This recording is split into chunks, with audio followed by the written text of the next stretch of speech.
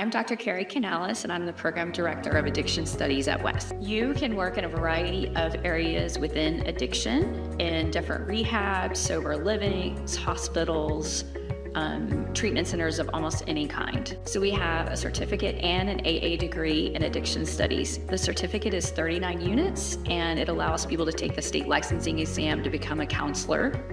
We also have an AA degree in which you can transfer to continue your education. Two years.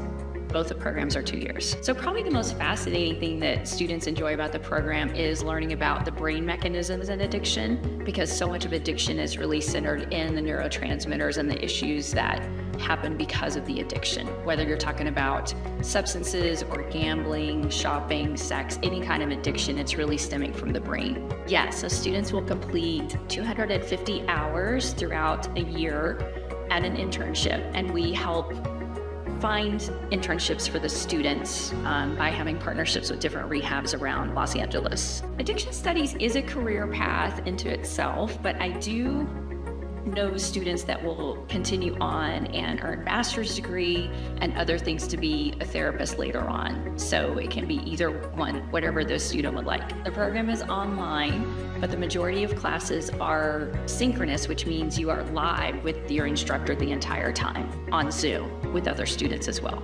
So, students who are in the addiction studies program typically are very compassionate people, empathic, and come from some sort of helping background, especially those who have a history of addiction themselves and had a mentor along their journey of sobriety, and they also now want to pay it forward and give back by being a counselor.